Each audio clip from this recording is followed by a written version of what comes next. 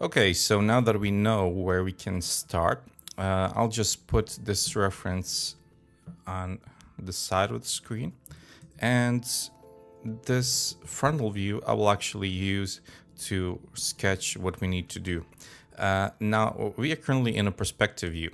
Uh, we can now come here to this little icon, and if I click on it, you'll notice that we will have a few additional views here. So we have right, front, and top. Currently, looks like we are in the right view, and you can still use the same functions. So here I'm using one hotkey to click and drag. So I'm gonna uh, hold one, and then I'm gonna click, and then I'm gonna drag. So basically this allows me to move the viewport. Uh, the second thing, what we would like to do here is instead of lines, we would like to have Gouraud shading. So let's just go into display and set Gouraud shading on. And this will bring our headsets.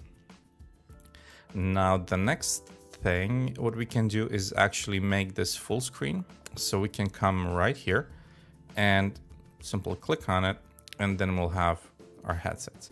And again, uh, with middle mouse, uh, you can zoom in or simply can come here if you wish and zoom in and click right here to let's say reposition.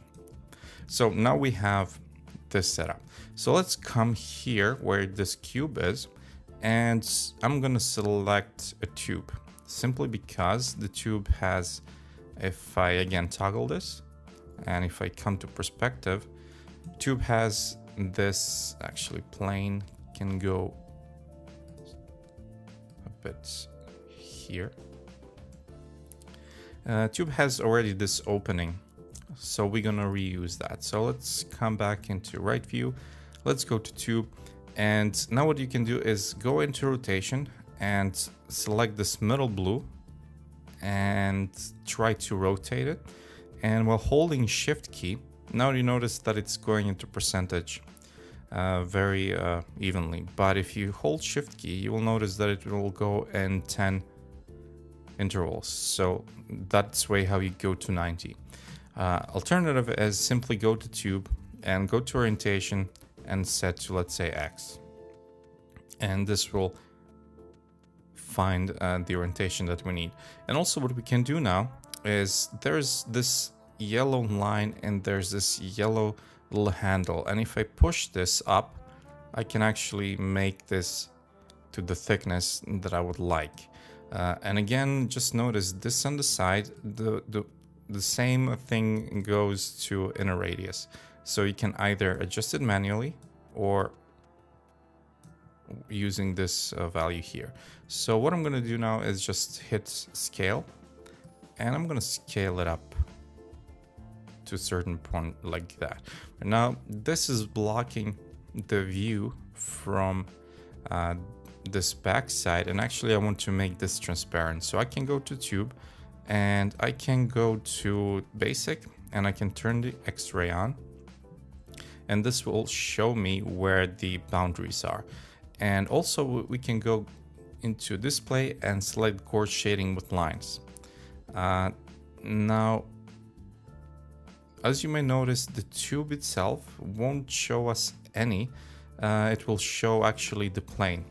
But if you remember, the plane has only uh, one segment and here you can see more than one. So what I'm gonna do here is just go from isoparms to wireframe. And then we're gonna see also what we need to see here in, in the tube. So basically, I just want to make sure that I have enough of these segments, meaning that if I have two little segments, um, I might not get the right smoothing that I actually need. So in this case, it's better that we have as many uh, segments as possible. For now, I'm gonna leave it to 36, but we're gonna create a duplicate anyway, just in case we need to come back. So basically what we're trying to do is match uh, this tube. So again, I'm gonna select my scale. So I'm trying to match these two points right here. And then the late, later on, I'm gonna try and just adjust the other points to match the rest of the shape. And so for now, let's use move tool and I'm going to just move it a bit aside. So let's say something something like this. And also what we can do is uh, work only on one side and then we're going to mirror the other side as well. So it's not that big of a deal, but let's try just to adjust as much as we can. So let's say this will work. And what I'm going to do is go back into perspective and the same thing. I would come here. And now since this is a bit too thick, I would say uh, maybe something like that. Maybe something like this will work, even though that we could have loaded the reference uh, from the side, but if it's uh, any thicker, that's something that we can easily fix. Okay, so what is the next step after that? Well, now we need to adjust the, the other points to match uh, all this shape right here. Now, one thing worth mentioning here is that we have pretty decent amount of segments. And since we are dealing with curved surface, uh, we need these segments. If the, the surface is not so curved, usually you would like to work with as minimum number of polygons and edges as possible. So that's just something to keep in mind. But uh, now let's go ahead and make this tube editable. So let's come here and where it says make editable, converts parametric object into polygonal object. Meaning that currently we have a parametric object where all the uh, necessary details like rotation segments, cap segments, height, and so on can be adjusted here. Once we make that editable, so once I click, we don't have these values anymore. We only have uh, values now that are here. So now we access actually points, edges, and polygons. Before we couldn't access that. So now you notice if I hover, we have access to those. So now that we actually have access to those, I'm going to zoom out a bit and I'm going to delete a few things. So I'm going to delete the full half simply because we're going to work on a symmetry and we're going to work on this side. So even if it's not symmetrical on this side, it doesn't matter because maybe image is not symmetrical or I didn't made it in Photoshop like that, but we are going to work in symmetry. And also what I'm going to delete is this lower part right here because we need to still adjust how this lower part will, will look like. So let's do that next. So let's go here and I'm going to select rectangle selection and I'm going to go to, let's say points and I'm going to select all of these points right here.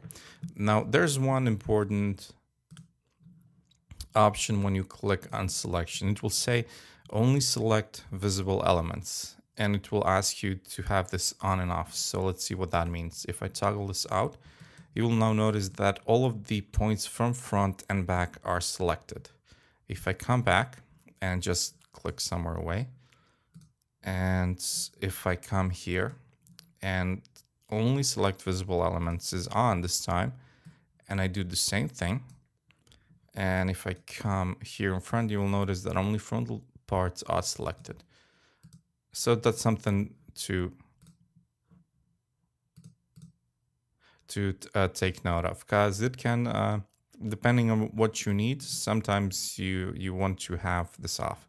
So in this case, we want to have this off and I'm going to delete this and just make sure actually that this part here is deselected. So I'm to hit control. Actually, uh, I'm to hit uh,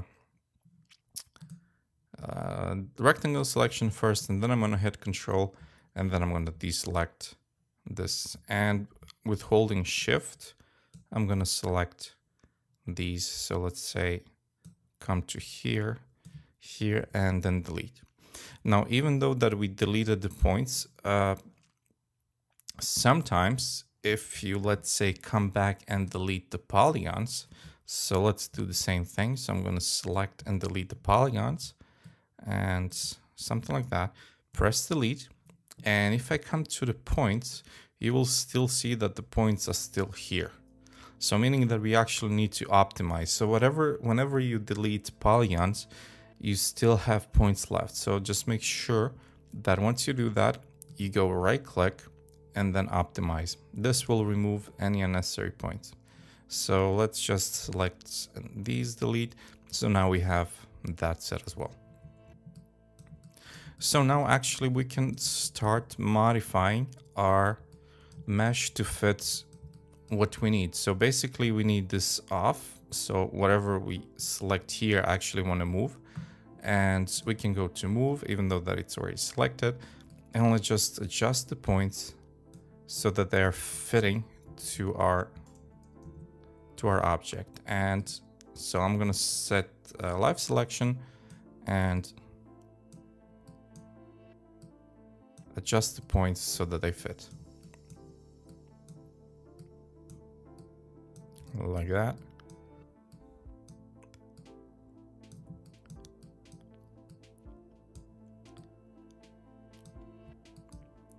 And also what I would like to do is maintain uh, the same flow of the edges. As, can, as you can notice, they're going in one direction.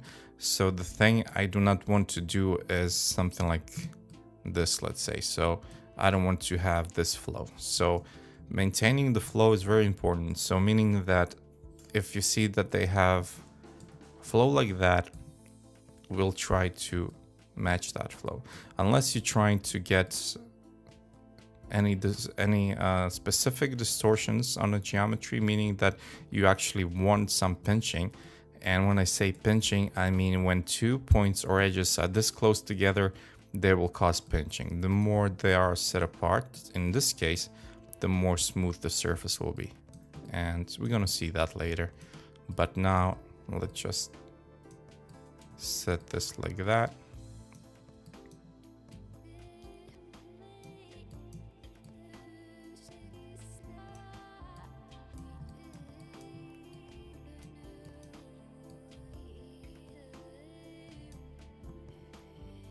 And there we are. I believe that these two we don't need, so I'm going to delete those. Okay, so now that we have that set up, everything is more or less in order, I would say. So maybe like that. And what I can do is turn the plane off and actually do some manual adjustment if I think that that will bring something. So because the thing with the references they can lead you off from actually what you want to want to achieve. So it's always worth to double check just in case.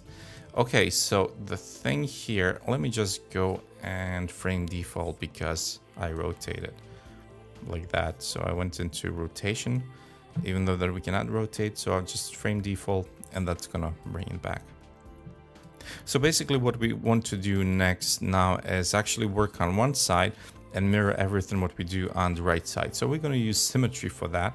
And I'm to go right here and put the tube right inside of the symmetry. But notice one thing. I'm to turn the plane off. Right now we have tube on X-ray. Uh, the moment I put it in a symmetry, the X-ray will be gone. So basically we need to go into symmetry, into basic, and then enable X-ray again so that, as you can notice here, we can get some of that transparency back. But we don't need that anymore, so I'm going to toggle that off. And as for the symmetry itself, let's go here. We can now go and change a few things here. So basically mirror plane, we need to change to something like XY. And now few things about the symmetry I would like to mention. So let's come here and let's select these two points and I'm gonna push them out like that a bit. Uh, again, I'm playing with so frame default. And basically in symmetry, if you have problems like this where there, uh, where there's connection not so clear, you need to make sure that you have clamp points and axes and also delete polygons and axes. Now, at this point, we do not have any polygons in the middle, meaning that we still have an open hole here. If this hole would be closed, then you would want to have delete polygons and axes on. So just something to bear in mind. And if I turn the symmetry on, let's increase the tolerance, let's say something like one, and then you will see that these points will come together. So basically that is all. Now we have our arch for the beginning shape. So if I turn the reference on and if I come here into the right view, this is now our arch and we have this part set up. Now, the next thing that we need to work on is if I check my other reference, we need to work on this connecting piece right here. And just to see the other reference and to see on the thickness, I believe maybe this, if I select all, we can now scale. So basically what I want to do is now go into polygon mode, uh, control A to select all, and then let's use scale and just maybe scale it slightly like that. I think that will that will work. Okay, so let's then move in on to the next part and see how we can connect these two together.